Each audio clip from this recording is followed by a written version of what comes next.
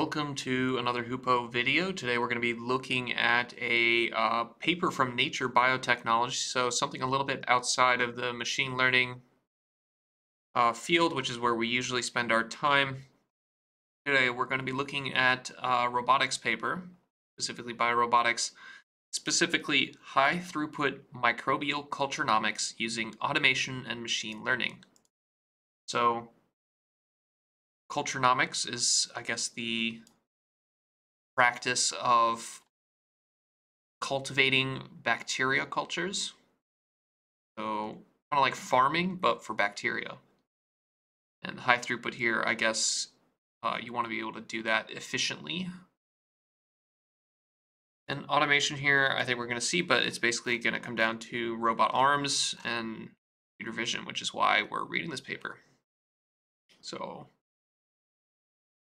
can see how the way that nature paperwork or biotech papers, nature's a journal.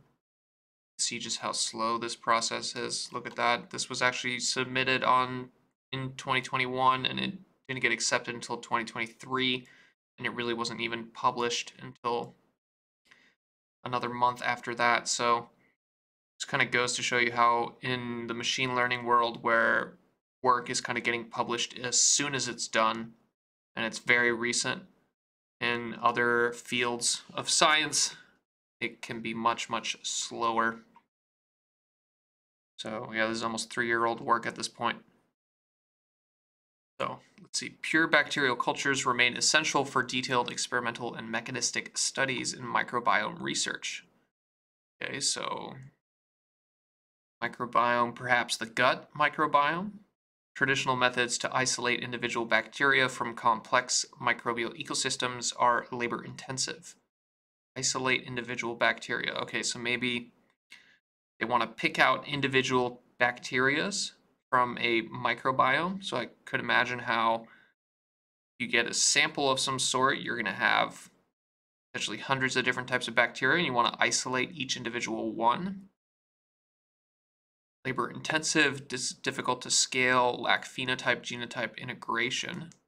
So phenotype, I think, is the physical manifestation of a certain genetic uh, code. So uh, the phenotype would be, for example, brown hair versus blonde hair. And then genotype is the actual genetic code that corresponds to some specific phenotype. Here we describe an open source high throughput robotic strain. Okay, here we go. Open source high throughput robotic strain isolation platform for rapid generation of isolates on demand. Okay, so open source means the code is open source. I doubt they're manufacturing their own robot. They're probably using an off the shelf robotic arm. High throughput, I guess just how many uh, actions, how many things, how many strain isolations per minute. I assume that this will hopefully be a step function improvement over previous versions of this. Uh, strain isolation there, again, it, I'm kind of just reading in, reading into what they're saying here, but it sounds like they're trying to isolate individual bacteria from a microbiome sample. And I think isolates are probably the result of strain isolation. We develop a machine learning approach that leverages colony morphology, so the appearance of a specific bacterial colony, and genomic data to maximize the diversity of microbes isolated and enable targeted picking of specific genre, genera. Okay, so basically, sounds like they're going to have a robot arm that picks out specific genres of microbes so they can do this strain isolation. Application of this platform on fecal samples are, all right, there we go. We finally know what they're doing. They're, it's poo. So they're taking poo from about 20 humans. They're probably smearing it on some uh, agar, right? Some of that like uh, gelatin looking stuff that they can grow gut bacteria or they, that you can grow bacteria on. And then they're getting a uh, robot to pick through the bacteria that grow from this uh, poo sample and perform strain isolation. So then you can basically figure out exactly what the different strains of bacteria are in a fecal sample. So everyone's all about the gut microbiome right now. So gut microbiome biobanks totaling 26,000 isolates. Represent 80% of all abundant taxa. Spatial analysis on 100,000 visually captured colonies reveals co-growth patterns between Ruminococcea, Cocaceae, Cocacea, Bacteroideaceae, Oreobacteriaceae, and Bifidobacteriaceae. Bacteriacea. I don't know how to say that. But co-growth patterns probably refers to um, specific way that's that uh, specific types of bacteria will grow within a agar plate. So maybe here they're suggesting interactions between the different gut bacteria in your gut microbiome, which I think kind of makes sense. There's probably kind of there's probably interactions between them. Some of them probably help each other, some of them are more antagonistic, and so on. Comparative analysis of 1,197 high quality genomes from these biobanks shows interesting intra and interpersonal strain evolution, selection, and horizontal gene transfer. Okay, so obviously bacteria are evolving at a faster rate because they live shorter lives and they're just generally smaller with simpler genomes it seems like within a specific person, the microbiome you have is going to actually evolve and there's going to be different selection pressures and horizontal gene transfer. So uh, I think bacteria have a way of actually capturing uh, genetic code from other bacteria that are not even related, or not even the same species. I think it's called plasmids.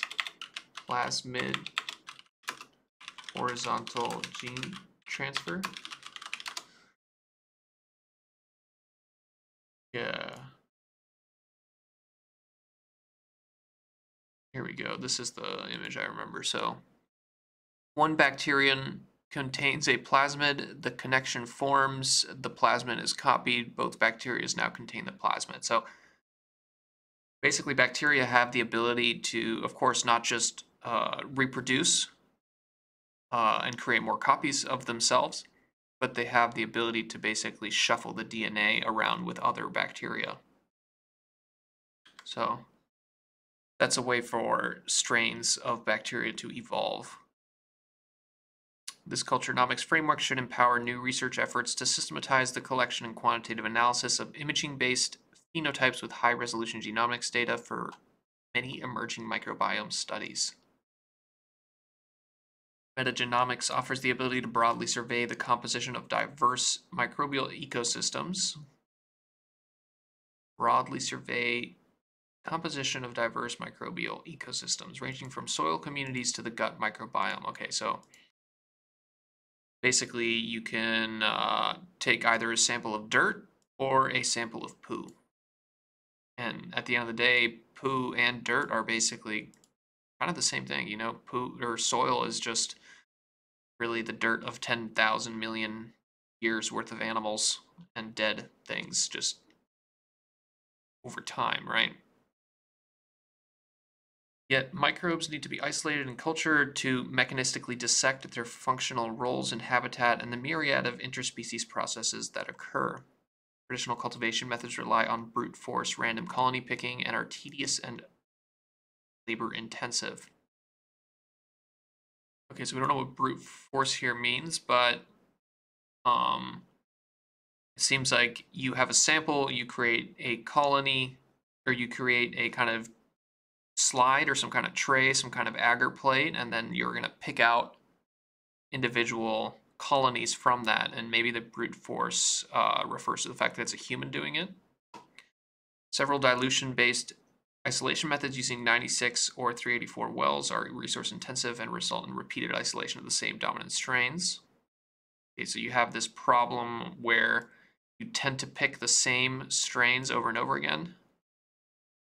Microfluidic systems enable growth in nanolite, nanoliter reactors, but colonal isol clonal isolates are difficult to extract. Okay, so microfluidics is basically small fluid. So I think this more refers to probably little tiny pipettes and little tiny test tubes where uh, nanoliter reactors, this probably refers to uh, nanoliter is a very, very small unit of volume measurement, right? A liter is, uh, you could have a liter of water. So nanoliter probably refers to a tiny little test tube where you're growing a tiny little strain of bacteria. Given that a typical microbiome can contain hundreds to thousands unique species,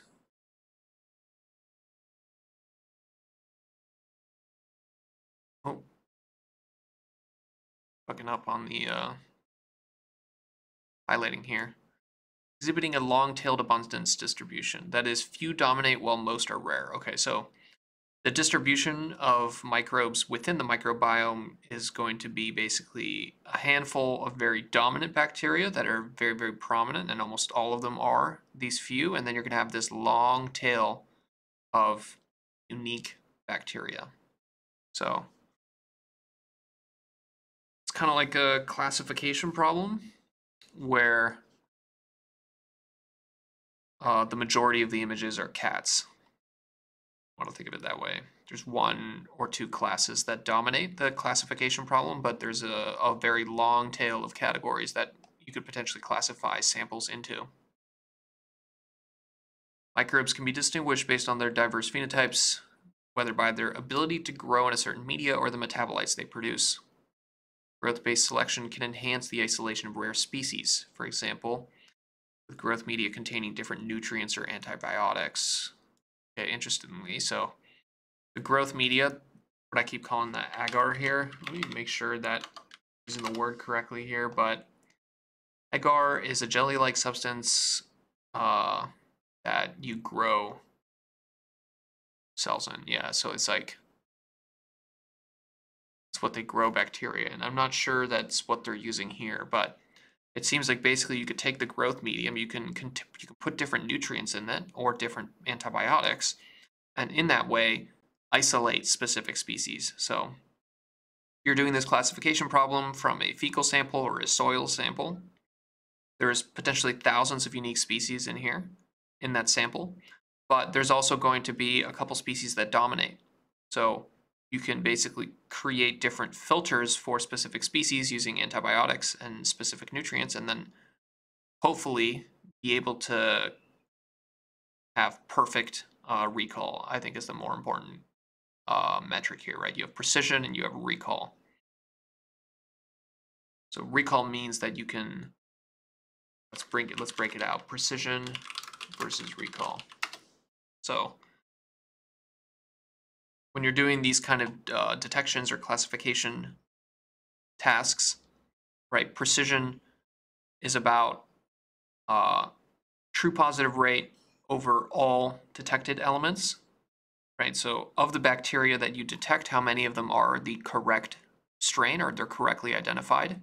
And that's important, but I'm going to suspect that recall is more important. And recall is how many of them are you actually detecting to begin with, right?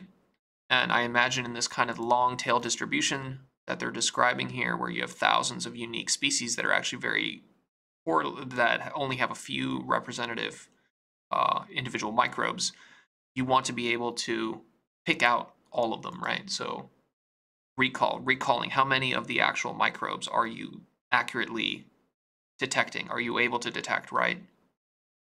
If you get a couple wrong, it's fine. You just, but you don't want to miss any. Mass spectrometry. Spectra can also be used to differentiate between the species. So mass spectrometry, spectrometry is a different technique than uh, here it sounds like they're describing like the DNA somehow or like I don't know. I don't know how they're actually classifying these. Let's see. Mass spectrometry, spectrometry is low throughput and requires manual processing. Imaging activated cell sorting has been developed to isolate eukaryotic cells based on multidimensional imaging. Okay, so they're already using some form of computer vision. I don't know what multi-dimensional imaging here means. Maybe it means multiple cameras or specific types of cameras. This method requires sophisticated instrumentation and has not been implemented for bacteria. With recent advances in AI and deep learning models trained to discern nuanced features in multidimensional imaging and biologic data, ML of combined phenotypic and genomic data streams is poised to transform next generation microbial culture culturenomics. Okay, so they're kind of hinting at some kind of multimodal based machine learning model here, right? So multiple modality, multiple modalities referring to the fact that you're not just going to be using uh, imaging, but you're also going to be using uh, biological data, which might be the output of some DNA sequencing, right? So your model that is performing the classification of microbes is looking at both image modalities and it's looking at kind of maybe the tabular looking data that would come out of a uh, DNA sequencer. And maybe also uh, the information that comes out of a mass spectrometer. Here we describe an ML-guided robotic strain isolation and genotyping platform that enables rapid and high throughput generation of cultured biobanks on demand. ML-guided robotic strain isolation and genotyping platform. The system uses an intelligent imaging-based algorithm to increase the taxonomic diversity of culturenomics compared to random picking method. Okay, so this is kind of the benchmark that they're comparing to is this random picking, where I assume you just kind of sample random points within the agar plate. So maybe in random picking, you just kind of pick 10 different random points and then in their imaging based method, they kind of specifically choose regions to pick the bacteria out of. We demonstrated the utility of this system by anaerobic, aerobically generating personalized isolate biobanks of 20 human participants, yielding a total of 26,000 isolates. Okay, so these are the individual samples that the robot picks out with 1,197 high quality draft genomes spanning 39,416 S samplicon sequence variants. I don't know what those are. Amplicon sequence variants. An amplicon sequence variance is any one of the inferred DNA, single DNA sequence recovered from a high throughput analysis of marker genes. Okay. So basically PCR, PCR is a type of uh, sequencing. And no, PCR itself is actually how you create DNA. And it's part of a sequencing process. Okay, so PCR is basically you duplicate the DNA and then you sequence it. And you have these marker genes uh, marker gene is usually determined if a nucleic has been successfully inserted. Okay, so amplicon sequence variants is basically some kind of DNA sequencing technique or part of some kind of DNA sequencing technique. Using the paired genomic and morphological information for each isolate, we trained an ML model that can predict taxonomic identity based on colony morphology. Okay, so basically it sounds like the ground truth information is coming from DNA sequencing, but then they want to basically be able to train a machine learning model that looks at just an overhead image of the actual uh, microbial growth and then is able to classify it into the correct uh, species of bacteria. So they have the ground truth label coming from actual DNA sequencing, but they want to eventually train a machine learning model that can just detect the specific visual appearance of a colony, right? What they keep calling colony morphology. Application of this ML model led to an improvement in targeted isolation of microbes of interest, large-scale imaging analysis of all colonies grown on agar plates, right? So they do eventually mention that it's agar plates. So we're correct in our assumption there. Uh,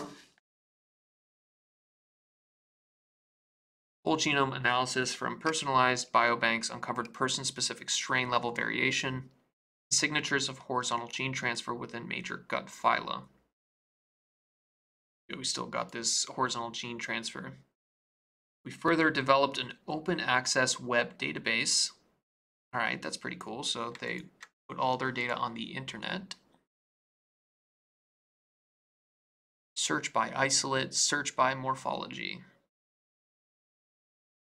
So actually, here you go. So this is the uh, what they were calling the long tail distribution of your gut bacteria. So most of your gut bacteria is actually composed of this one here, bacterio, bacterio, bacteroideaceae. And you can see how basically the first two types of bacteria are extremely prevalent and then it very quickly dies down, but you have a very long tail of different types of bacteria here. So uh, this is actually an image of their system and you can see here they have some kind of robotic arm here that's picking specific parts. So it seems like actually the robotic arm doesn't actually do the picking itself. It just moves the whole tray and then puts the whole tray on. But then you have basically these this rotating table of little pipette looking needle things that do the actual colony picking and transferring. So they're picking from a plate, an agar plate, and then they're putting it into one of these uh, micro arrays, I think they're called. Micro array biology. It's these like plates. Yeah, this is what a micro array looks like. It's like a plate where you put the stuff in. There might be more narrow definitions of microarray. Uh, the one that is a little bit more human sized might be called something else. And these might not be specifically microarrays, but it's kind of that same energy, right? Where you can basically have a grid of little uh, isolated cells, kind of like a beehive, and then each of those isolated cells uh, you put samples into them so that you can do a bunch of imaging one go or uh, yeah, so here's the actual imaging here. So dual illumination imaging, epi and then trans, so different types of light it actually seems like they're doing here. Let's actually zoom in. So you see they're doing kind of a different lighting. They have uh, what seems like white lighting and then what seems like red lighting. And then from this, here's the actual computer vision happening where they're doing the segmentation. So each of these spots represents uh, kind of a, a, bacterial colony, right? And the way that a bacterial colony is going to grow on an agar plate is it's going to start from a specific locus and then it's going to like kind of grow out. And the way that it grows and the appearance that it has under these different types of lights and these different cameras is going to result in a different uh, look of this colony, which means that you can use some kind of computer vision to, to actually uh, classify each of these colonies.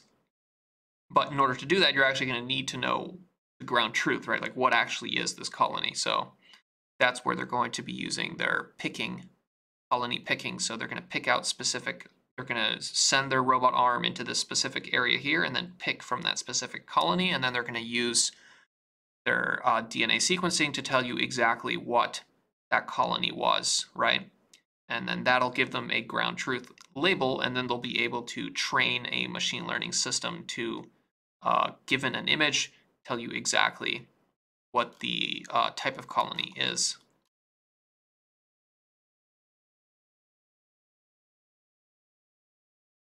That is cool. All right. So containing searchable genotypic, morphologic, and phenotypic data of all isolates generated by automated culturenomics as a unique and expanding community resource for the microbiome field. Data-driven culturenomics using phenotypes and automation. Colony picking is a classic microbiology method, microbiology method for clonally isolating bacterial strains. So colony picking is this uh, idea, I guess, of having a big plate that has a variety of different colonies on it, and then isolating out each individual strain by picking from the colonies that are going to be specific to a particular strain. So you would pick samples from each of these uh, center points here.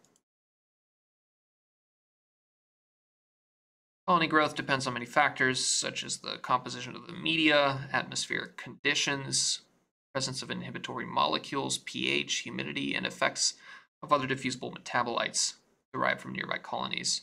So not only is the uh, environment super important, but then also the uh, nearby colonies, right? So in here, uh, the fact that this colony is growing close to this colony means it's going to have a different morphology, a different kind of appearance than maybe perhaps this colony, which could be of the same strain. So even just the nearness of strains to each other is also going to affect the morphology. Colony morphologies are observed based on strain-specific physiological differences influenced by cell shape, rigidity, motility, and growth kinetics, as well as production of pigmented molecules or extracellular matrices and surfactants. Production of pigmented molecules. So specific microbes might produce specific pigments, which will make them much easier to detect with computer vision. These colony traits are readily quantifiable. They are rarely documented. Okay, so there's a lack of available data, which is always bad, but I mean, it makes it easier to get good results if you first person to collect a very good extensive data set. Selective colony picking using visual features is generally qualitative and not standardized. To address these shortcomings, we devised a platform dubbed, here's the actual name of it, Culturenomics by Automated Microbiome imaging and isolation, CAMI. That's where they get the name here, CAMI. CAMI platform consists of four key elements. So you have one, an imaging system that collects morphology data of colonies, and an AI guided colony selection algorithm. So, I mean, this probably just means computer vision an automated colony picking robot. So you have the actual robot here. This is uh, normally what's called a SCARA arm. Yeah. So a SCARA is a type of industrial robot where the uh, basically have one rotational joint here, one rotational joint here, and then usually an up and down joint here, right? And this is different from uh, a 7 DOF robot arm. Right, so most of the robots that you think of when you think of a, a robot arm in, for example, a welding application or some kind of industrial application have many degrees of freedom, such as here, there's seven degrees of freedom on a KUKA arm. Uh, here you have a, I think this is a Panda arm also a high amount of degree of freedom. And the reason you need those high amounts of degree of freedom is that you have to be able to control the end effector orientation, right? You want to be able to, when you're doing something like welding, you don't just want to move to a specific location, but you also need to be able to orient the end effector in that end location. Versus for something like uh, this application here, right, this microbial array picking, you don't need to control the, the orientation of the end effector. You just need to basically have up and down motion and then be able to go anywhere within a 2D space. And that's where uh, limiting the total amount of degrees of freedom actually helps you because the a SCARA robot is going to be uh, significantly cheaper than uh, something like a 7DOF robot. So the choice of robot here makes a ton of sense. Basically just pick a robot that is relatively cheap and of course you want something that is very very fast right high throughput you don't want to spend a lot of time executing complicated motions with complicated end effector movements right you want very simple linear and like that okay so that's part one is the imaging the computer vision part two is the actual robot part three here is a cost-effective pipeline to rapidly generate genomic data. So this is the actual sequencing. Uh, I don't know very much about sequencing at all. I assume there's some kind of machine that you have to put like a little pipette into, or maybe the machines allow kind of uh, a whole array of these little micro pipettes. I don't know. And here we have the last part, a physically isolate biobank and digital database with searchable colony morphology. Okay, so they call it physical isolate biobank digital database. I don't know if the database and the biobank refer to like a, a data, database, obviously digital database is going to be stored in some hard drive, right? It's like an actual uh, data in the sense that I would use data as a machine learning person, but maybe physical isolate biobank means like actual physical samples. So let's actually type that physical isolate biobank.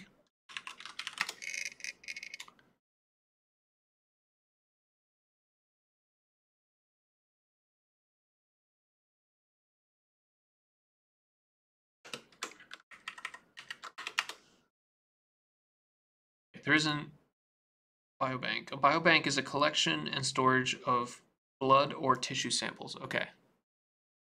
So this is a physical. It's a physical biobank. And then the isolate is uh, the result of a single pick. So when you pick out of a agar plate tray like this, I think that individual pick, right, that little sample that you've created is called an isolate.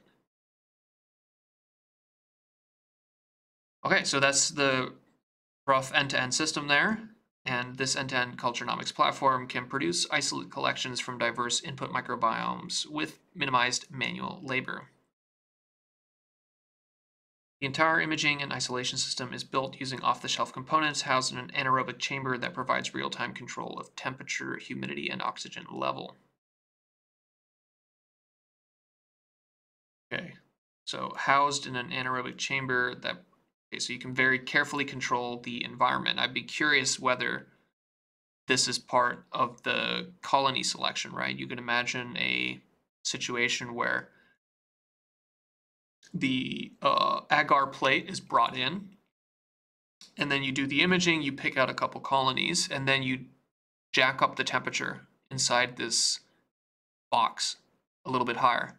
And maybe by jacking up the temperature, certain colonies thrive and other colonies die and then you can pick again samples. So given that they just said that uh, the pH, humidity, uh, oxygenation, and temperature affect which colonies are present, it, and the fact that they've put uh, the entire system inside a chamber where you can control the temperature, humidity, pH, oxygen levels, and so on, maybe the uh, picking system or the picking process is like kind of this multi-part process where you basically change the environment over time, and that gives you a uh, different different types of bacteria over time. So I'd be curious to see if there's kind of a time component here where they change the environment in order to get a different microbiome. That would be kind of interesting. Okay, the Camille robot has an isolation throughput of 2,000 colonies per hour. Okay. Can handle 12,000 colonies per run. Okay, which is around 20 times higher than the capacity and faster than manual colony isolation by a person. Okay, so let's actually do some of this math here. So we have 2,000 per hour. So if we divide that by 60 and then we divide that by 60 again, it's roughly picking every 0.5 seconds. Uh, 12,000 colonies per run, so that means that if we do uh, 12,000 divided by 2,000, that's 6, so 6 hours. So each run uh, the robot is on for six hours and it's picking roughly one sample every 0.5 seconds. And then they say this is about 20 times higher capacity and faster than a person, which means that if you take you know, 0.5 seconds for the robot and multiply that by 20, that means that a human can roughly pick at 10 seconds. So human sitting there manually sampling this stuff is going to be picking once every 10 seconds. The robot picks once every 0.5 seconds. And then also higher capacity here refers to the fact that you probably can't get a human to sit there for six hours straight and pick this amount of stuff, right? Six hours is just too much. So not only can the robot pick much faster than a human, but it can also pick for much longer, right? It's not going to complain.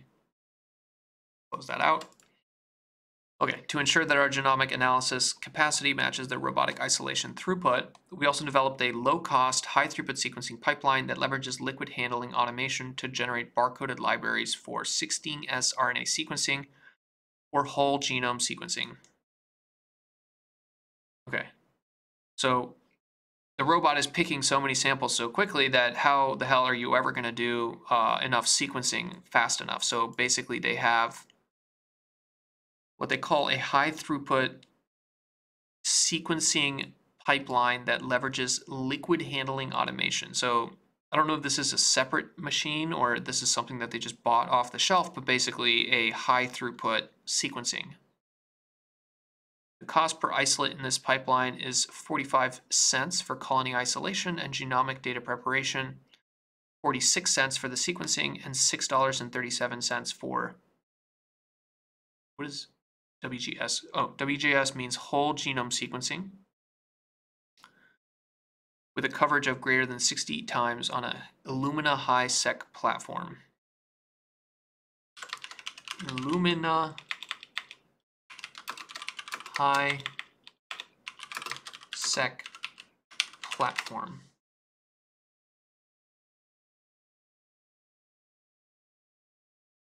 Okay, so Illumina is a company that creates these sequencing machines.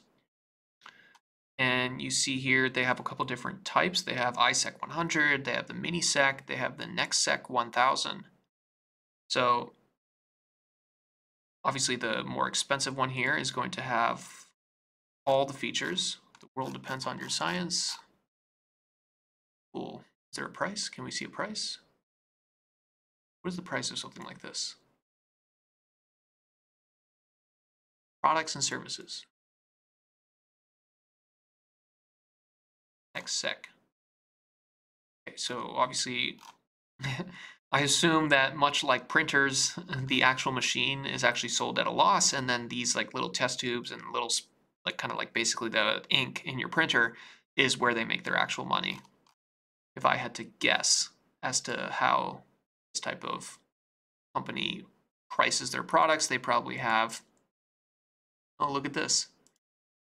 Popular products, Illumina for COVID sequencing tests. They have specific machines for COVID sequencing. Nice. Okay, so this is what they're actually doing for the uh, whole genome sequencing, and it's actually important to note here that it's significantly more expensive, right? So the actual robotic picking is way cheaper. I don't know what genomic DNA preparation means. Maybe that's, uh, or no, that's part of the 45 cents. Okay, so there's a couple different types of sequencing here. So 16S sequencing seems to actually be way cheaper than whole genome sequencing. So 16S sequencing versus whole genome sequencing. Okay, what are the advantages of whole genome shotgun versus 16S? 16S amplicon sequencing is currently used to identify dominant organisms. WGS has been shown to detect and identify whole genera. Okay, so 16S is like a subset. It's like a faster, cheaper, dirtier version of whole genome sequencing, and but it's like an order of magnitude cheaper, right? 46 cents versus almost $7. And that can be huge, right? If you have 2,000 samples per hour, over 12,000 samples on a single run, and each sample is costing you $6.37. You can actually do that math. Let's see. $6.37 times 12,000 samples. that's a $76,000 experiment versus if you're doing uh, 46 cents for the 16S sequencing, now you're talking about $5,000, which is much more uh, doable. But $5,000 to get your poo microbiome explained still seems a little bit intense. Uh, a key unique feature of the CAMI platform is the imaging system that collects and learns from morphological data of bacterial colonies. Specifically, trans-illuminated images, which show height, radius, and circularity of a colony, and epi-illuminated images, which show color and complex morphological features such as wrinkling. Okay, so we know uh, what they mean now uh, by multidimensional images. So basically the, the multiple, multiple dimensions here refer to the fact that there's two different types of imaging here. There's epi imaging and then trans image, right? Trans illuminated images and epi illuminated images. So trans illuminated, trans illuminated images, which is going to be this red one, is going to show you the height, radius, and circularity of a colony. So radius, I think, just refers to the radius of that circle. Height maybe refers to the height within the agar plate. And then epi-illuminated epi-illuminated images are going to show you the color. So obviously with a red light, you're not going to be able to tell the color. But with a white light, right, which has a much broader spectrum of colors in that, right? White is the composition of all the lights.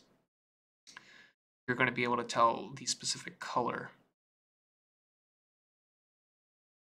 Develop a custom colony analysis pipeline, area, perimeter, and mean radius reflect colony size, while circularity, convexity, and inertia reveal colony shape. Pixel intensities and their variances in red, green, blue channels highlight any density gradations and colors across a colony. We next reason that morphologically distinct colonies are more likely to be phylogenetically diverse, which could be used to improve colony isolation. Okay, so morphologically distinct colonies. So they're basically making an assumption here and saying that if you have colonies that look very different, they probably have a different strain in them, right? So obviously that sounds like common sense, but that's not necessarily true, right? You can envision a type of bacteria that, uh, I don't know, maybe produces a random pigment and in that case, that bacteria would, each colony of that bacteria would have a different pigment, even though it's all the same bacteria. So there is an assumption here that they're making that you should be able to uh, classify colonies of bacteria based on their morphology, right? And you want to pick uh, samples from the colonies that are the most visually distinct. So whichever colonies are the most interesting, the most unique, right? those are the ones that you want to be uh, picking samples from in your colony isolation. Thus, we developed this image guided, imaging guided smart picking strategy to isolate more diverse isolates by embedding colonies in a multi-dimensional Euclidean space based on captured features and selecting maximally distant points in this space. Okay, so they're taking the each individual uh, strain or each individual colony right? Then they're basically feeding it through what is probably a ConvNet, right? A pre-trained uh, convolutional neural network, which is being used as an encoder here. Uh, and encoder, what it's doing is it's basically taking data from one uh, space, right, in the space of images, right, the three-dimensional uh, image tensor, not three-dimensional, but there's three channels. There's a width and there's a height. So images are in image space. And then the encoded or the encoder, right, this convolutional neural network is projecting from that image space into a embedding space. And this embedding space is just some high dimensional space here. The way that they describe it is very correct here, multidimensional Euclidean space, right? And they're just taking the distance between the points there, right? So they're saying here is the embedding for one colony, here is the embedding for a different colony, here's the embedding for a third colony and fourth colony, and let's look at the distance between those. And the bigger the distance between those, the more that the ConvNet is telling you that there is a visual difference between those. So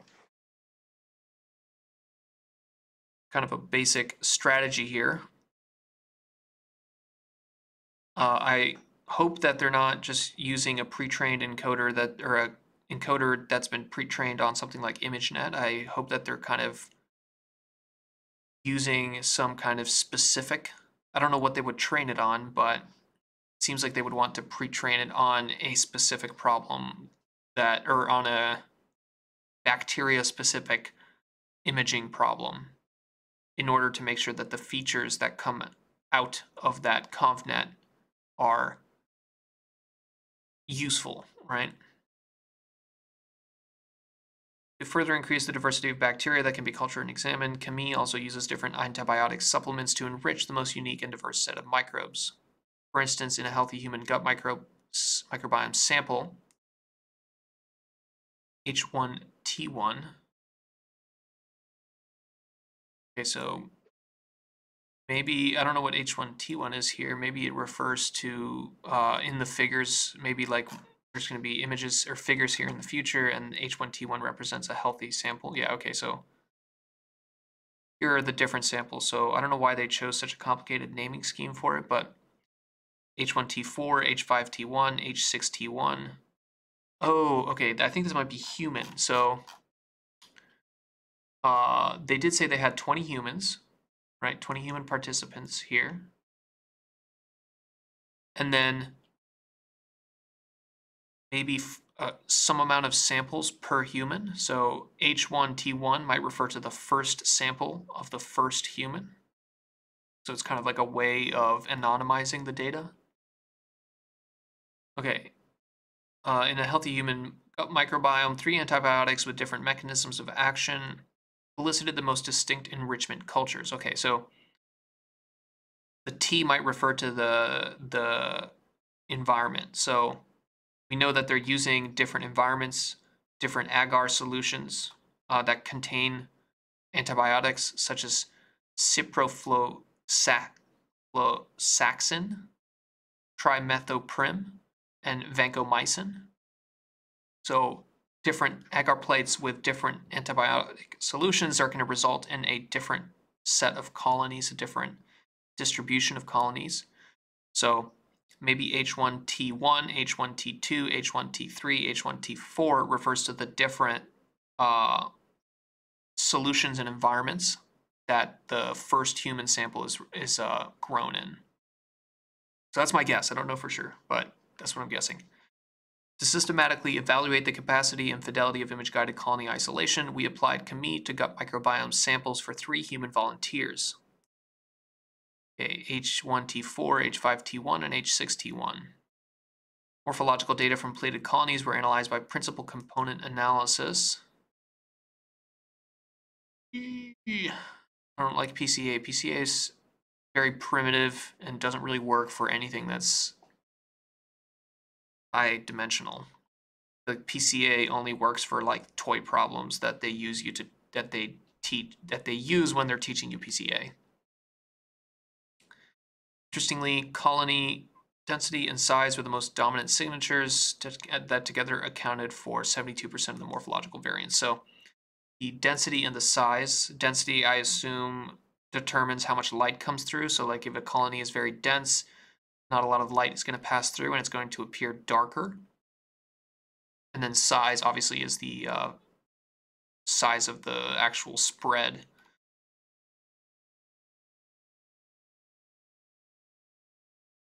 We then used the Camille robot to isolate 6,144 colonies. Roughly half of them were randomly picked from MGAM plates, and another half using our imaging guiding smart picking strategy.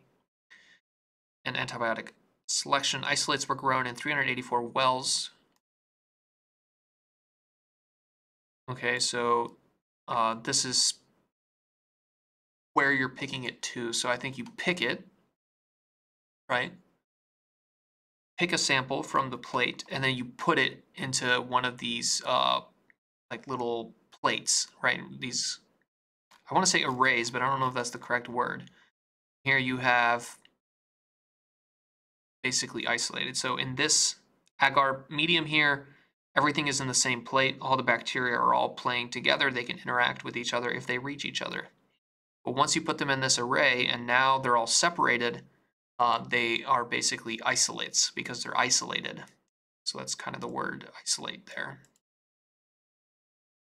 And then once they have them all isolated, they do the uh, slightly cheaper version of sequencing, right? The 16S rRNA for taxonomy identification.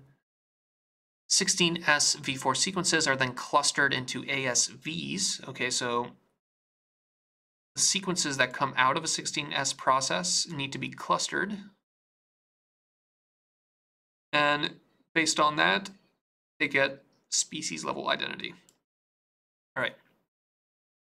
Remarkably, colony isolation performed by phenotypic data yielded a substantially more diverse set of ASVs than compared to random isolation for all three microbiome samples. Yeah, I mean, it makes sense that colony isolation, you're going to get better than random isolation. So if you were to just sample a grid uniformly across this image here, or across this agar plate, and then just put that uniformly sampled grid into this sample array here, this, this kind of set of isolates. If you do that with an image guided uh, based picking, you're going to result in a much wider diversity of uh, of bacteria or microbe species than if you just kind of sample it randomly, right? Which makes sense. If you sample it randomly, you're probably going to end up with something that's very similar to this, right? Where most of the time you're going to be picking the very common bacteria. But by being by doing this kind of visual guided imaging or visual guided picking, you can pick out the hopefully some colonies of this these kind of like long tail types of bacteria. Okay, uh, to obtain 30 unique ASVs, we require only 85 colonies to be isolated, compared to 410 colonies needed by random, random selection. Notably, this enhanced isolation efficiency was maintained through picking, implying that there is a sustained advantage in using our strategy at a range of desired isolation depth and the generated isolate collection better represents the underlying input microbial diversity was substantially more even in composition as measured by Shannon's equitability. Uh, Shannon might here be referring to Shannon, the information theory guy. So Shannon entropy is where that entropy. Claude Shannon, yeah, this guy. So information theory is basically probability, but you can use it to uh, make a bunch of theoretical guarantees on like how many times do you need to flip a coin to get a certain result, like how many times do you need to measure something to know what the underlying distribution is. So this this dude here, Claude Shannon, kind of pioneered a lot of that. So I don't exactly know what Shannon's equitability is, but I assume it's basically just similar kind of thing. It's showing you that this sampling strategy is resulting in a better sample than a different sampling strategy. Phenotypic data collection and AI-guided colony selection. So this is, okay, these are the four different parts that they described here in their CAMI platform. First part, of course, is just taking the images with the different lights, and then from that, uh, getting basically segmentation, right? Pixel level segmentation. Then from that, you uh, pick using your SCARA robot, and then you put each of the little samples that you picked into this kind of micro array, actually biobank Let's start using that as the terminology. That seems to be the terminology they use. I think this little icicle here means that they're freezing it. Then you put those little biobanks into this the Illumina machines, right, that we were looking at. We don't know which one they have. Maybe they have the cheap one. Maybe they have HiSeq 100, the cheapest one. Maybe they have the NextSeq 1000, more expensive one. But then once you do that, you get your sequence, and then with your sequence, you're able to classify into what type of bacteria that was. All right, so this is the image that we've been staring at for a while now. So this is kind of the two different types of images, the segmentation, uh, PC1, PC2. So this might refer to the principal component. So in principal component analysis, you're identifying specific dimensions where there is a maximum amount of variance. Uh, so this might be the first kind of dimension in which you have the most variance, and this is the second dimension that PCA chooses. Usually in PCA, you're picking two or three dimensions because those are the that's the amount of dimensions that you can visualize on a plot. Here you have different types of uh, morphologies or phenotypes, right? So like the appearance, so like how is what is the uh, uh, computer vision system actually learning? So here are a couple of the different things it's learning. It's learning about size, density, color, circularity, convexity, and inertia. Plating conditions, relative abundance. Okay, so this this is the different environments. So here we have Vanc, right? This is the vancomycin. These are the three different types of um, three different types of antibiotics, and these are uh, different uh, environmental conditions, and you can see how depending on the environmental condition, you're going to have a different uh, distribution of bacteria. So obviously, here in Gen 50, almost none of the bacteria can survive except for this bacterio, bacteroid acea. Need to learn how to pronounce this. But in uh, here, this TMP50, there's almost no bacterio, bacteroidacea. You just have uh, mostly this one, Porphyromonadacea. So this kind of shows you how by changing the environment of the plate on which these bacterial colonies are growing, you can get a different spread. Um, and then finally here, number, figure F, number of picked isolates, number of unique ASVs. So ASVs, I think, is basically the number of unique bacterial uh, species, I guess. And here you see random picking versus phenotype guided. Phenotype guided just means with the computer vision. So they're computer vision based robotic picking versus random picking, which is probably just sampling a grid.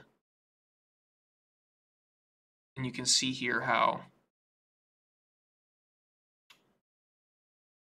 you get much better results. You get a number of picked isolates. So this is how many times they pick. And again, they can pick uh, 2,000 times in an hour. So this is roughly like a little bit less than one hour worth of picking.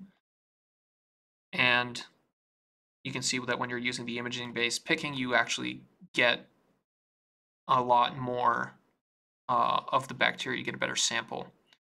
The thing that they don't compare it to, though, is the human-based picking. I feel like that would have been more interesting because, of course, you're going to be random picking because I feel like a lot of times in random picking, you're just going to pick like emptiness and nothing because the density is not super high.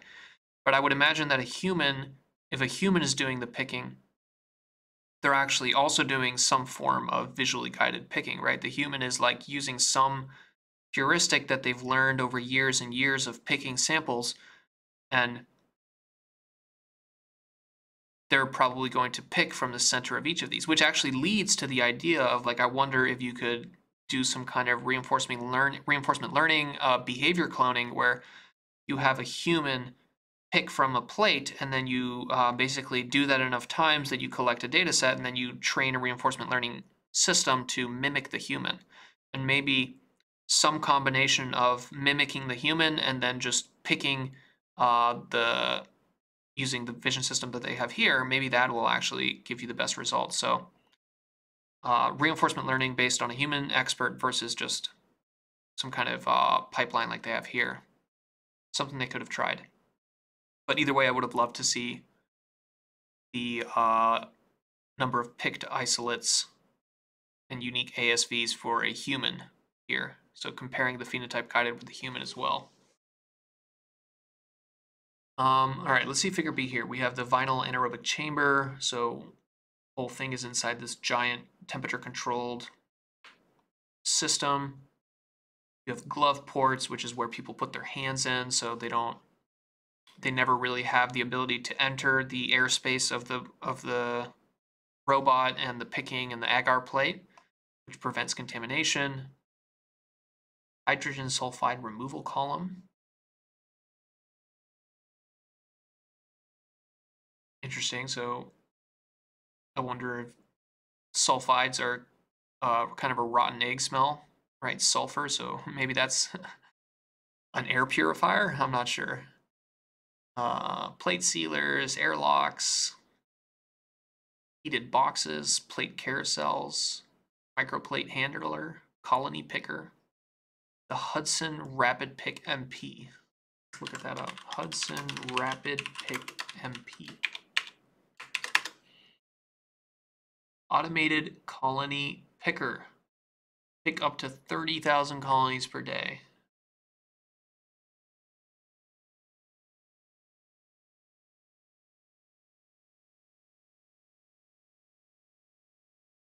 Look at that. So you have companies that are selling you these basically SCARA arms inside a box.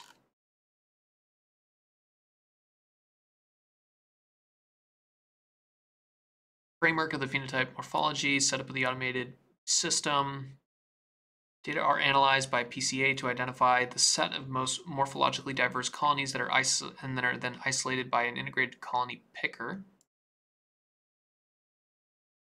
So again, they're taking images of the colonies, they're segmenting them out, then they're taking the individual little segmentation parts, they're putting them through some kind of pre-trained convnet, and then they're the final vectors that come out of that, they put those all through PCA and then pick the distance in that. Hmm.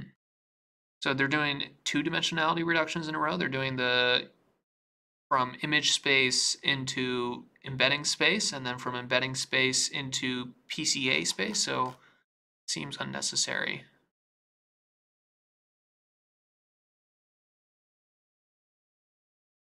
Maybe they're not using a ConvNet. Maybe they're going straight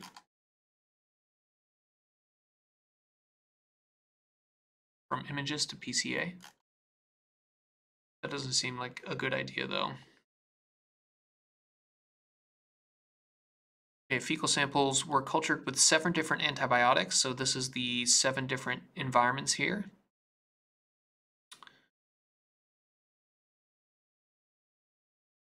Random isolation was performed on a random subset of all detected colonies, and phenotype-guided isolation was performed on morphology-selected colonies. Okay, so maybe random is not completely random. It's not sampling, like, for example, empty space. Maybe random still samples the center of colonies. It just doesn't uh, pick which colonies to sample.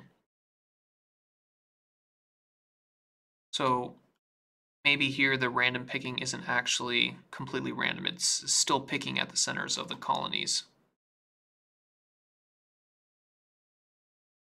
Phylogenetic analysis of isolates showed that CAMII optimized colony, colony picking substantially improved the diversity of obtained microbes. This advantage is particularly evident given that finding unique ASVs becomes asymptotically more difficult with an increasing number of isolates.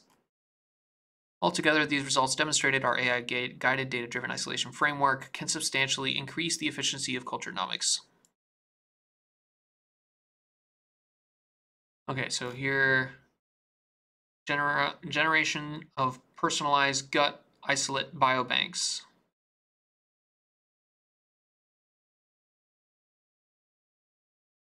Okay, neighbor joining tree, branch color distinguishes bacterial phylum, and the outer circle shows the prevalence of isolated ASVs.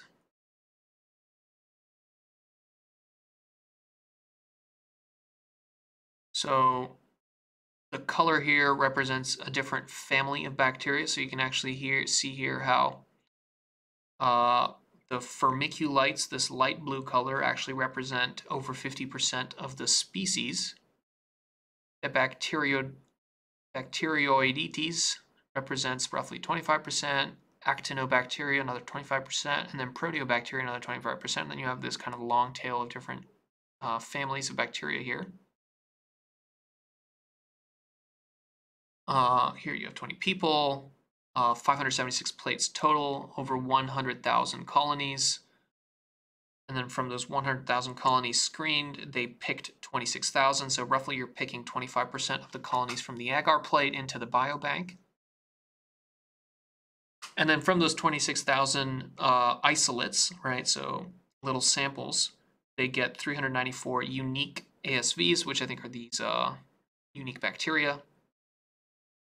Uh, and I guess if you use whole genome sample, whole genome sequencing, you get 3,000 isolates. So maybe uh, with the 16S sequencing, you get the kind of general family of the bacteria, and then with the actual whole genome sequencing, you get um, the specific like subspecies, right? I assume that it's actually probably quite difficult to differentiate between two very close, very similar types of bacteria species with um,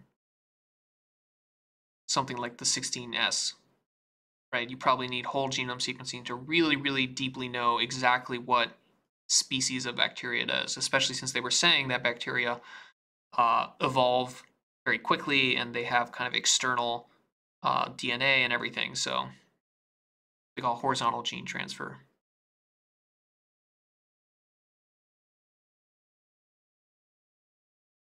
Uh, relative abundance, I guess these are the 20 people maybe.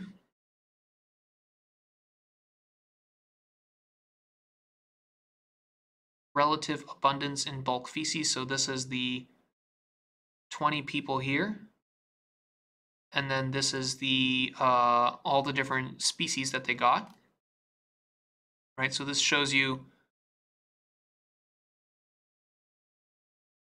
the gut bacteria, the gut microbiome of each of these 20 people, and you can see how it's actually, it's, it is kind of similar. There is similarity here, right?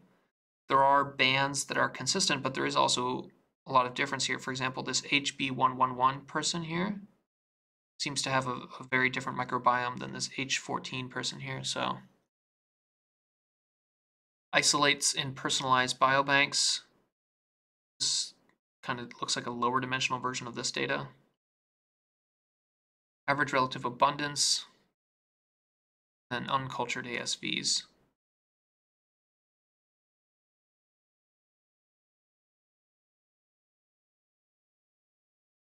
Cool. While microbes from different people share similar sets of bacterial species, the strains belonging to these species are highly unique to the individual. Yeah, so and may co-colonize the same host for many years. So your own gut bacteria is actually very unique because you're going to have specific strains because you're going to subject your gut bacteria to different environment and that gut bacteria is going to evolve in the uh, direction that you are exerting a selection pressure.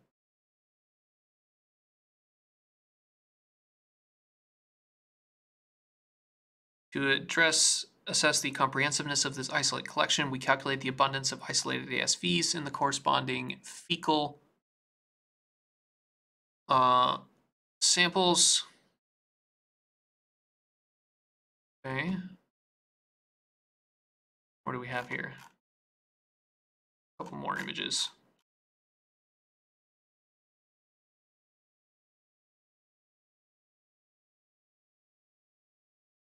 Each personalized isolate collection mimics the bulk feces sample with comparable microbiome profiles and Shannon's diversity index. Demonstrate the use of Camille to build deep human gut isolate collection containing 26,000 isolates and 394 ASVs with a rich set of linked morphological, phenotypic, and taxonomic and whole genome sequencing data. And they make this online. Identifying undercultured dark matter gut microbiome. Previous studies have observed that many microbes from different environments are so difficult to culture in the laboratory.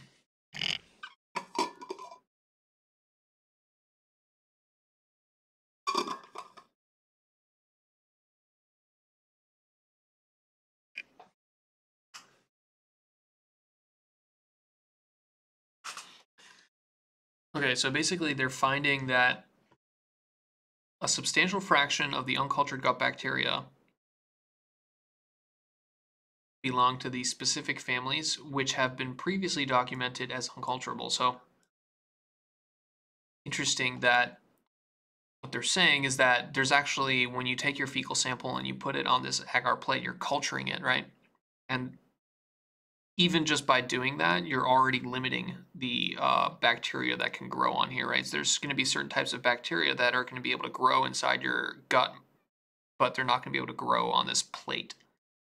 So already you're creating a selection pressure uh, that is going to get rid of some of the bacteria that you would want to be able to identify within someone's gut.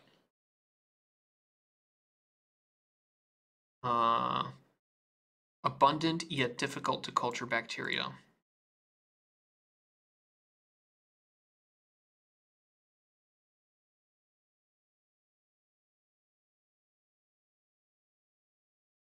and they, they managed to find one strain that happens to be associated with inflammatory bowel disease. Or not associated, but um, a lack of this bacteria is associated with inflammatory bowel disease isolated another abundant species. These results highlight cultured isolates and the remaining missing diversity based on our current media and growth conditions, and offer directions to guide future culturomics efforts. Taxonomy prediction from morphology enables targeted isolation. We lack the capacity to selectively culture most bacteria species in a specific manner. Consequently, picking a large number of colonies and relying on statistical probability is the only practical solution for obtaining bacteria of interest.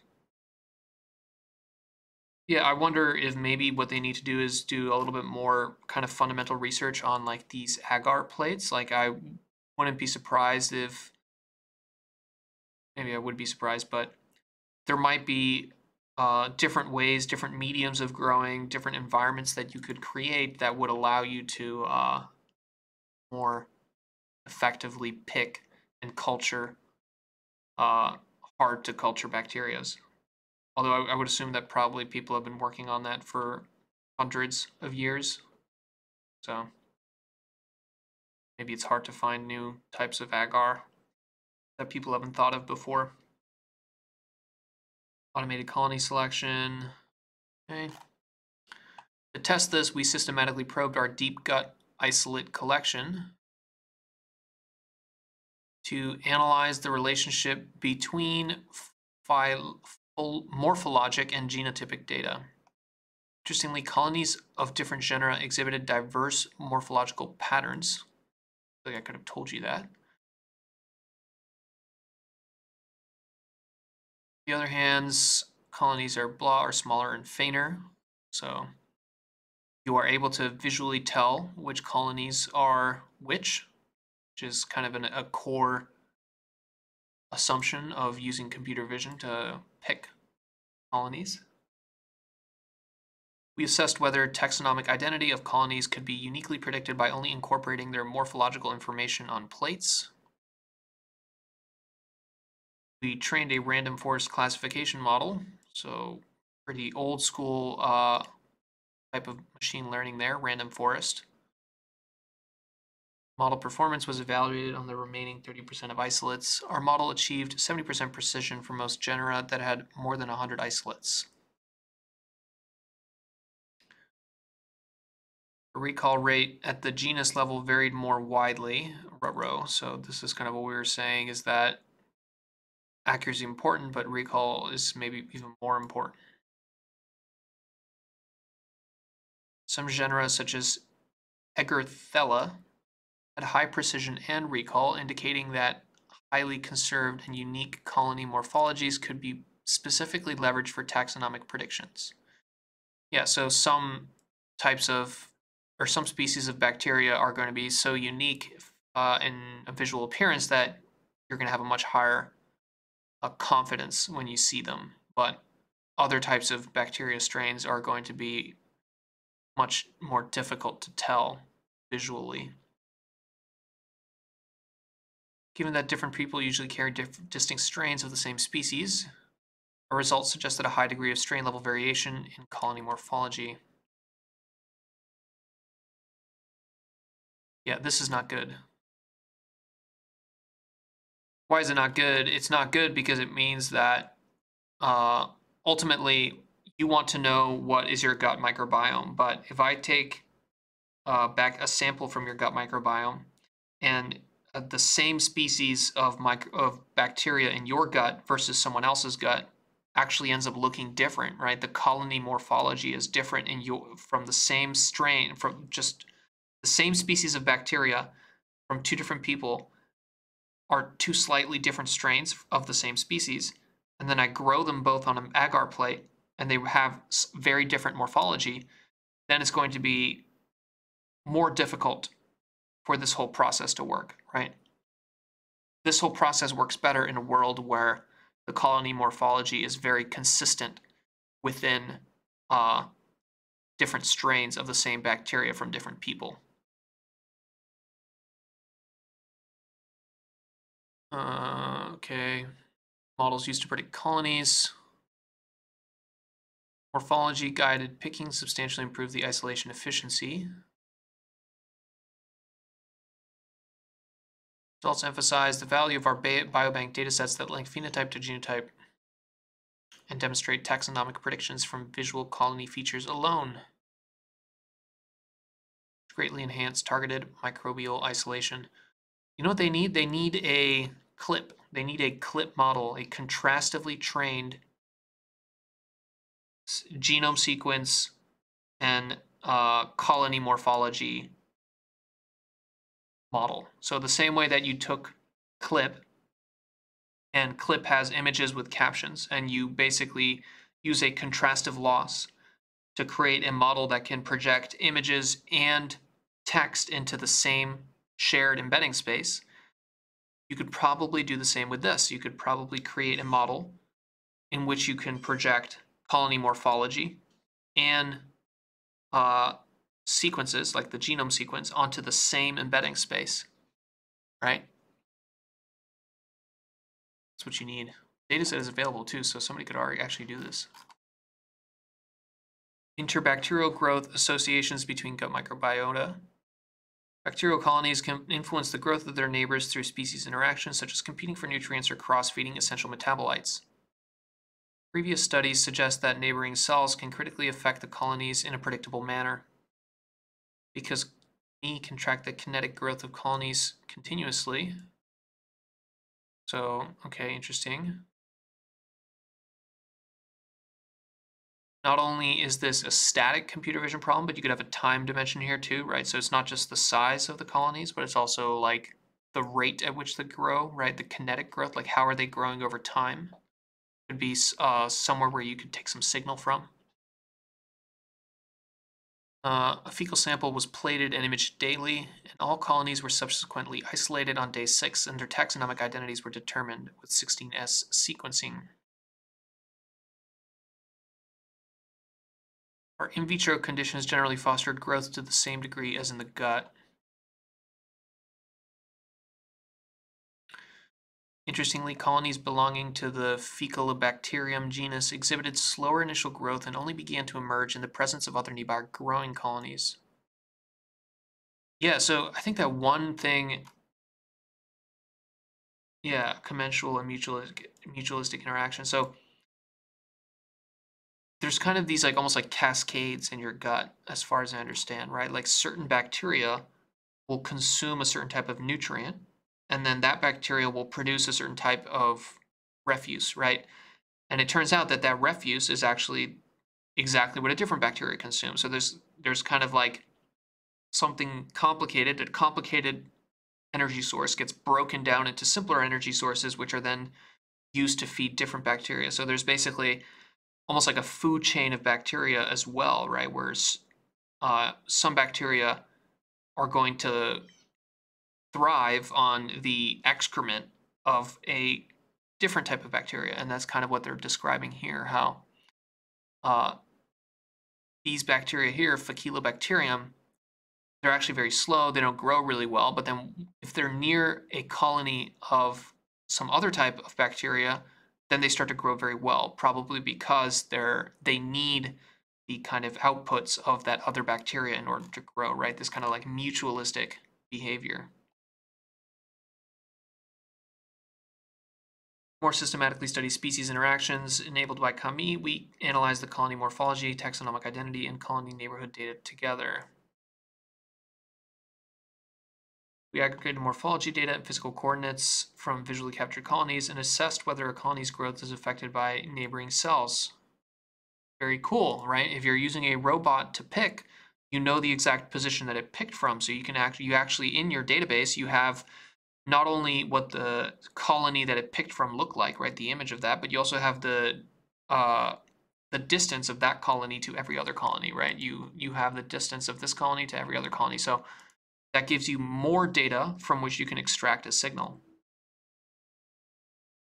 Colony size of Vulgatus is negatively correlated with the number of neighboring cells, consistent with the scenario that there are generally negative interactions mediated by competition. Larger colonies, yeah, so there's kind of this dependence on like who are you growing next to as a colony. Looked at how the colony size of a specific genus could be affected by other genera. Compared the colony sizes of one genus with another genus present in the neighborhood and without any colonies present. Okay, so they identified some that grow larger if they have others nearby. Observed that Coca-Cola isolates are smaller Uh, further investigation to better understand the underlying mechanism these positive and negative interactions between gut microbiota, right? It almost seems like this type of robotic picking is actually perfect to uh, kind of open up a whole new field of basic research where you understand the kind of relationship between these different bacteria, right? It's like you're you're now starting to understand the the ecology of the bacteria, right? The same way that you you when you want to study an animal like a cheetah, studying in its own habitat, understanding what it eats, understanding what eats the cheetah and what the cheetah eats, like that's important and how it interacts with these different species. So maybe we're starting to see the beginning of that as well, where people are starting to see how there's certain bacteria that kind of prey on other bacteria, certain bacteria that have mutual relationships with other bacteria, and so on. Results highlight that Camus can reveal colony crow growth patterns governed by interspecies interactions, which may help identify growth-promoting microbiomes and their diffuse metabolites that stimulate in vitro growth. Intra- and interpersonal genomic diversity. Mapping the strain-level genome-wide diversity of gut bacteria within a person is important for understanding the dynamics of gut colonization and the drivers of bacterial selection and adaptation specific to each human host. A advantage of the Camus system is the ability to isolate and perform WGS for a large number of isolates.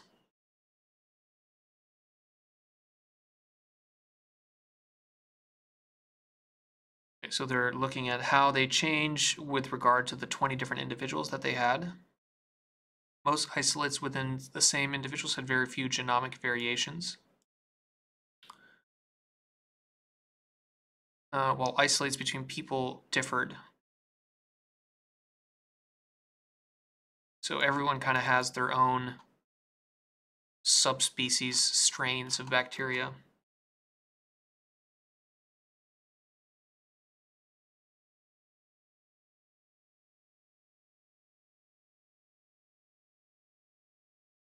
Two distinct strains were isolated from H4 individual and two distinct strains were found in the H2. So you actually have multiple, you don't just have a single strain, you have multiple different strains of the same species within your a single person's microbiome.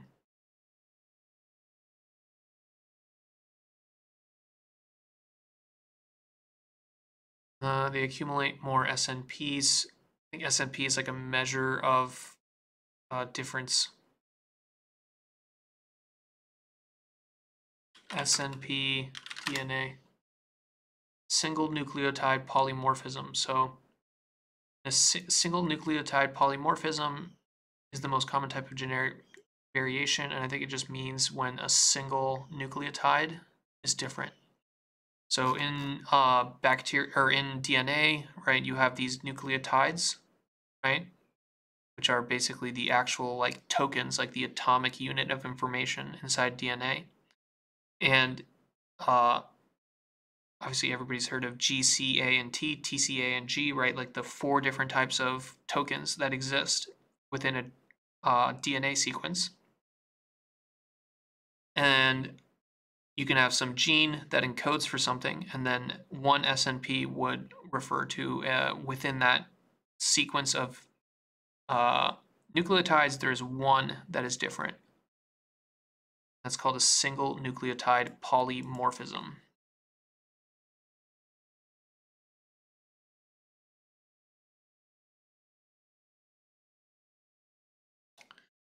The number of genome-wide SNPs within each taxon is generally correlated with the abundance in the original microbiome. Okay, so this is interesting that you can look at the number of SNPs within a specific species of bacteria, and the more uh, SNPs that there are gives you an indication of the abundance in the original microbiome. Again, the reason they have this problem is that the abundance in the agar plate is going to be different than the abundance in your stomach because the agar plate is such a different environment than your stomach. So within your stomach, there might be certain strains that are thriving, but once you put them on this agar plate, there's going to be a different set of strains that are thriving. So, and you're not really interested in which species thrive in the agar plate. You're interested in actually knowing what species are most populated in your stomach. So looking at the amount of SNPs could be a way of getting to that information. Uh, at the gene level, we also we observed evidence of convergent adaptive evolution. Okay, so basically, right, the idea that the gut bacteria are evolving within your stomach, and as we saw earlier, there's kind of very complicated uh, behaviors and interactions between these, right? There's a very rich, I don't know if biome is the right word.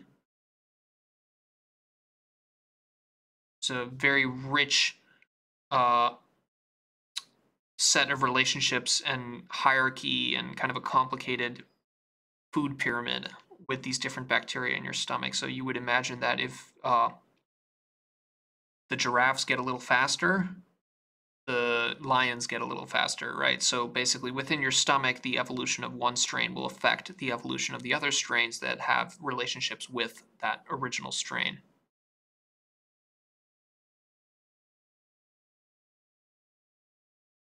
Okay, so here specifically they're talking about this uh, toluene, which is some kind of chemical that is used in industrial feedstock, and then your gut bacteria is evolving to be able to cope with that.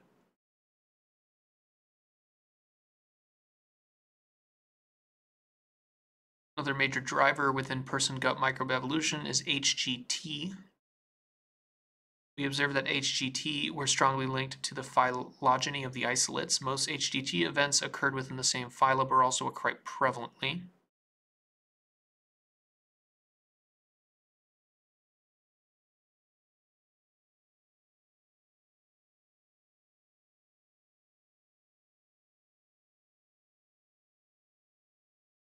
hypothesized that if HGTs occurred recently between two species, uh, HGT is a horizontal gene transfer, so that's where uh, genes and DNA get moved around between different types of species.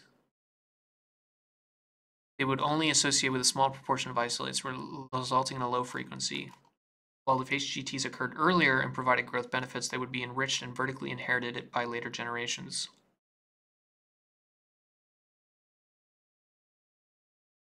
Uh, most HGTs were frequently present, especially ones within the bacterioid ACA, suggesting that they occurred in the distant past. and were enriched under strong selection within the gut environment. Okay. Given the high prevalence and frequency of within individual HGT, the next annotated we next annotated the protein sequencing, protein coding sequences for the most widespread HGT elements to probe their potential functions. Interestingly, we identified multiple antibiotic resistant genes with different mechanisms of action as well as a secretion system genes as well as secretion system genes. Okay, ARGs. So there's some kind of horizontal gene transfer that regulates the secretion genes.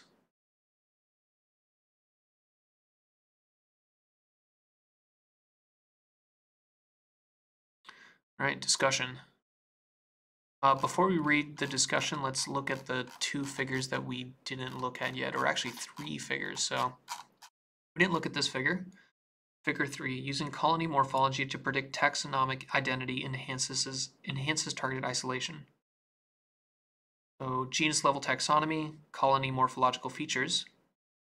So here we have red, green, blue, uh, the standard deviation of the red, green, blue pixel, the mean of the red, green, blue. So this is kind of like these six numbers here are a rough uh, way to get a color, right? Color for the bacteria. Uh, inertia, convexity, circularity, radius, those are the, uh, they showed us a picture here, but it's basically measures of like how circular uh, the actual colony is.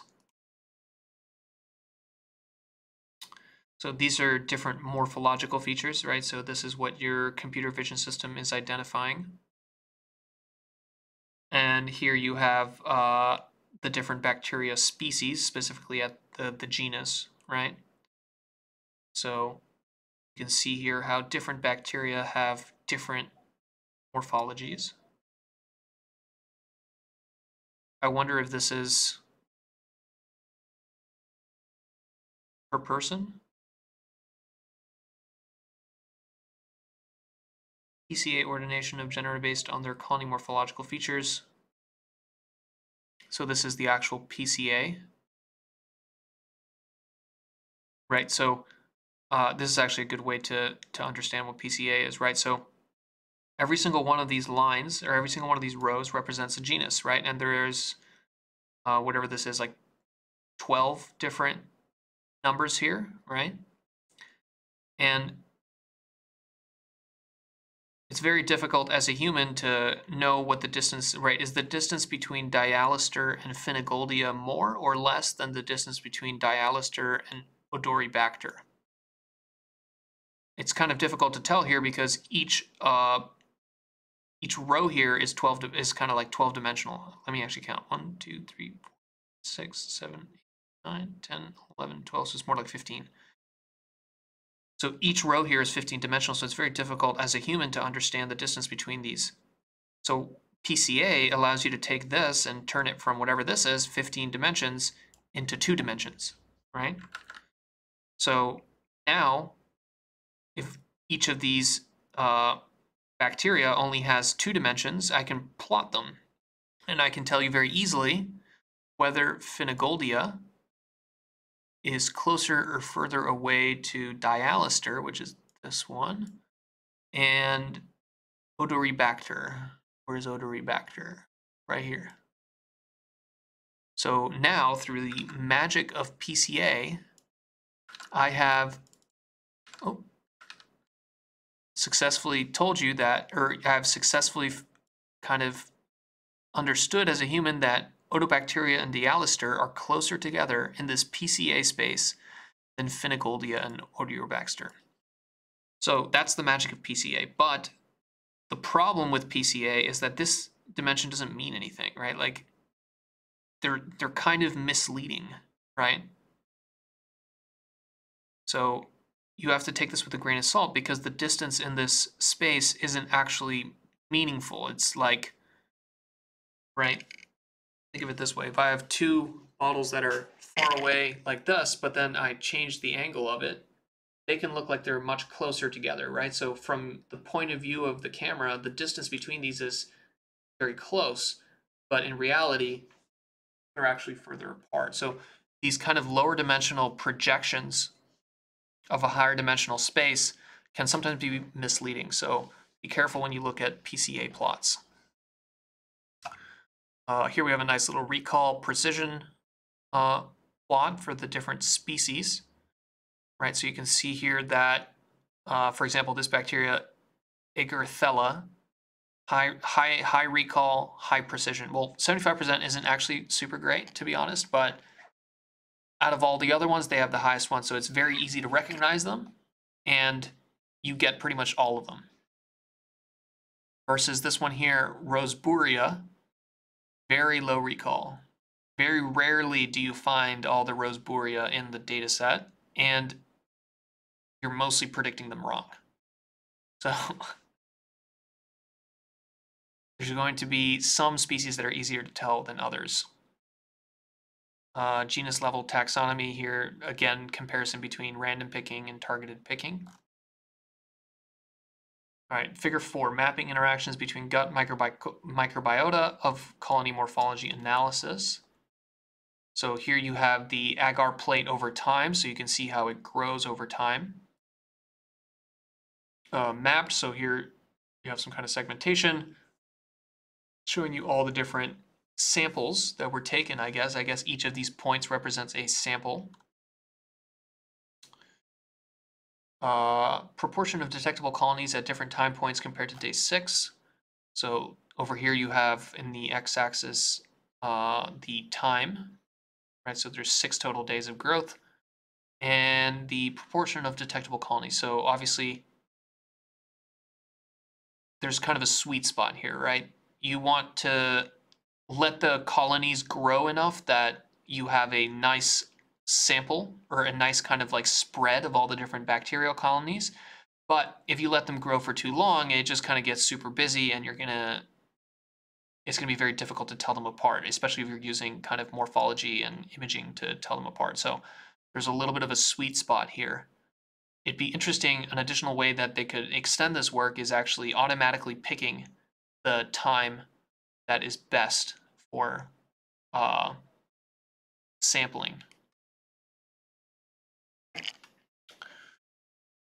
Okay, and then here, figure D, pairwise growth promoting and inhibiting network. So this is the kind of complicated uh, food tree. I, I don't know. I keep using. I don't know what the what is the word for like ecological uh, web, ecological network. This is it. This is what I'm trying to specify. Ecological network is a representation of interactions in an ecosystem in which species nodes are connected by pairwise interactions. These interactions can be trophic or symbiotic. So this is basically that plot, but for the bacteria, where it shows you that certain types of bacteria inhibit the growth of other bacteria, whereas other bacteria kind of feed off of one another. So you can see how Bacteroides and Clostridium IV are very strongly related here. There seems to be kind of a relationship between these here. Actually, a bunch of them seem to be related to these two here. These subspecies of rumin Ruminococcaceae. I bet you rumino refers to ruminants, so maybe this is like the the bacteria that's found inside like cows and goats, right? Ruminants are animals that eat grass. So obviously humans don't eat grass to the level of cows, but would kind of make sense that maybe there's similar-ish gut bacteria in our stomach since we also eat vegetables.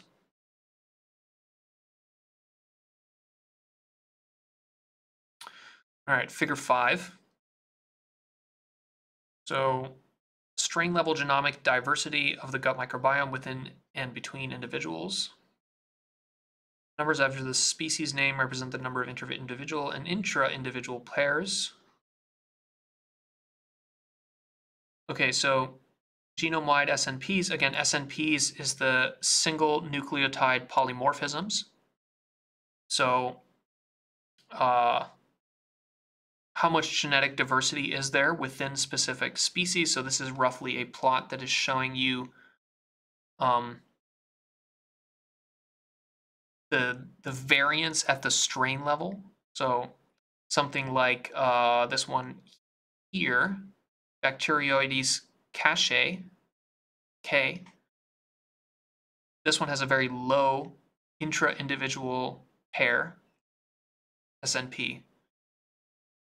Means that I guess they're all more consistent versus something like uh, E. coli here, very widespread, right? So sometimes there's huge amounts of different types of different strains of E. coli, and sometimes there's E. coli that are very consistent.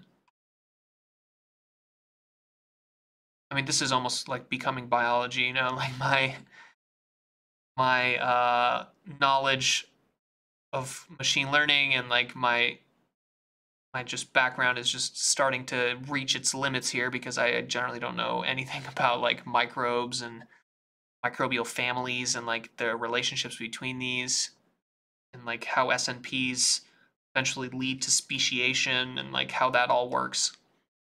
But I assume if you're a bio person, this stuff is much more interesting to you and kind of starting to deeply understand the human gut microbiome and like what the uh, ecological network within the human microbiome looks like. Especially interesting, I think, is the fact that it changes so quickly, right? So, like, obviously, the African savanna has evolution happening, and right, like the the zebras and the lions are kind of like constantly in this like tug of war over millions of years, and like the zebras get a little bit faster, the lions get a little bit faster, the zebras get the stripes, so the lions have a hard time seeing, and the lions evolve better eyesight, and so on. But inside the gut microbiome, this is happening incredibly quickly, right? It's like the speed of evolution is incredibly fast, and then you also have this horizontal gene transfer phenomenon where, you know, like a zebra could get some of the genetics from a lion, which isn't actually going to happen at the zebra lion level. So it seems like the ecology within the gut and within bacteria species is actually maybe more interesting than the ecology at like the mammal scale of things. Cool, so we're almost done here. Let's finish with the discussion and we'll be done for this video. Strain isolation for the gut microbiome has historically been performed in an ad hoc manner where important phenotypic features are inadequately captured and poorly documented. We describe the CAMII platform to industrialize the gene bank of isolated biobanks.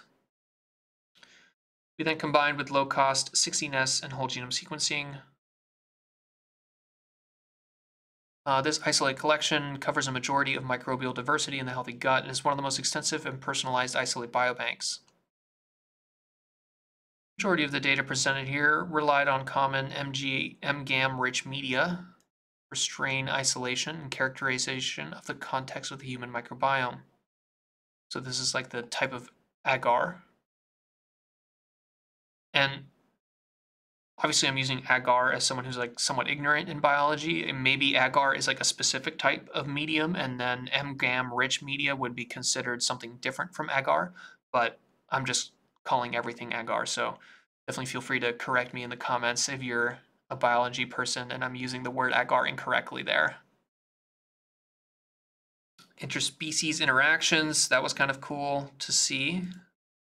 Uh, we envisioned that these interactions could facilitate cultivation of dark matter. Yeah, so you could see how uh, perhaps a robot could take this plate and instead of sampling it and putting into this uh, biobank, right, this array, maybe you could actually put it onto another agar plate and put it in such a way that it puts together these kind of mutualistic strains. So it knows that this strain and then this strain, they grow well if they grow together. So putting those together and then sampling out of that. So there's all kinds of interesting kind of, I don't know what the terraforming equivalent of like moving species around in an environment is, but it does seem like a potential area of improvement. The CAMII system uses commercially available off-the-shelf components and open source code. We envision that a searchable online portal will facilitate sharing. Onboard automated microscopy could further introduce orthogonal data streams to visualize microbial cells at a micrometer resolution across different spectral channels. Yeah, so the different imaging modalities that they have here, I feel like uh, different modalities is a little bit strong of a word. At the end of the day, it's the same. It's a RGB image. It's just produce. You just have two different types of lighting. But I can imagine how you have more complicated forms of lighting and different types of cameras would probably be better. Because individual strains, yeah, so they actually aren't using any they say improved machine learning and mach- improved machine vision and machine learning could yield even better strain predictions, but they don't mention the ConvNet in a single part. So it seems like all they're really doing is just uh, getting these uh, values here, right? Which you could get with OpenCV, right? You don't need deep learning to get the mean value of the red pixels. And then they're just using PCA. So like they're using OpenCV and PCA rather than uh, any kind of deep learning based strategy. As far as I understand, I haven't seen a mention of a ConvNet anywhere here. Uh, such comprehensive biobank, blah, blah, blah. Beyond the human gut, CAMII can be useful for other microbiomes, such as those from soil, aquatic, or agricultural settings. Yeah, so it's not just about gut microbacteria or fecal samples, right? You could imagine how someone who owns a fish farm would be very interested in uh, sequencing the microbiome inside the water of the fish farm. Uh, someone who owns cows, right? They would want to put the cow poop through here. So there's a lot of situations where people probably pay good money to understand the bacteria and bacterial ecology of their particular system.